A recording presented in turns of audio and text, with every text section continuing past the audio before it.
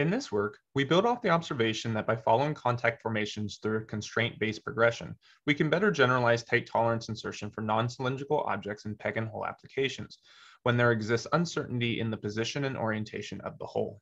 Specifically, we rely on the passive adaptive properties of a compliant system to help modulate forces along certain axes. The end effector itself serves as a low impedance mechanism that limits the amount of force we can apply in certain directions. We monitor the state of the system via a six-axis force torque sensor and an in-hand camera. To highlight this concept, we devise a linear pusher that applies forces in the X, Y, and Z directions respectively. By quantifying these forces and by noting how they plateau along certain axes, we use this information to inform contact formation switching.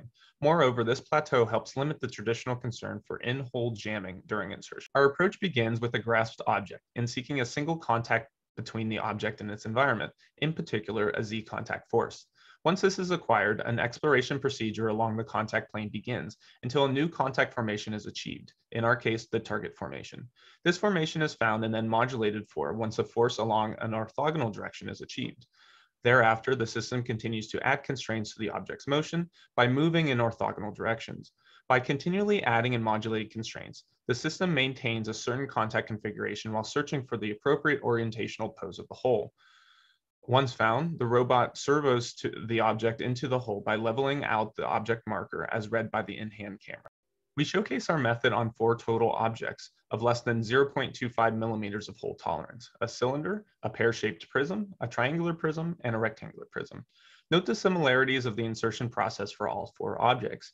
Since our method is object agnostic, it relies specifically on forces and the estimated contact formations during insertion. It has no knowledge of the object or hole's geometry. This provides for a generalized approach to insertion that leverages compliance for maintaining desired contact formations. A key focus of this work is our ability to successfully insert objects when the pose of the hole is somewhat unknown. Thus, our system must be able to explore a workspace before the insertion process begins. This exploration process is highlighted in this task using a commercially available children's toy. Note how the robot stays within the search workspace denoted in green and continues until the target contact formation is acquired. Once the general location of the hole is found, the object is rotated into position and inserted appropriately. Our method can also be extended to everyday objects included in the NIST assembly task board, particularly for gear and plug insertion.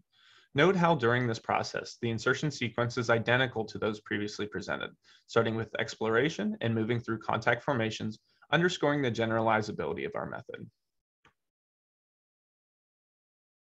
We would like to thank you for your attention and also acknowledge our funding sources.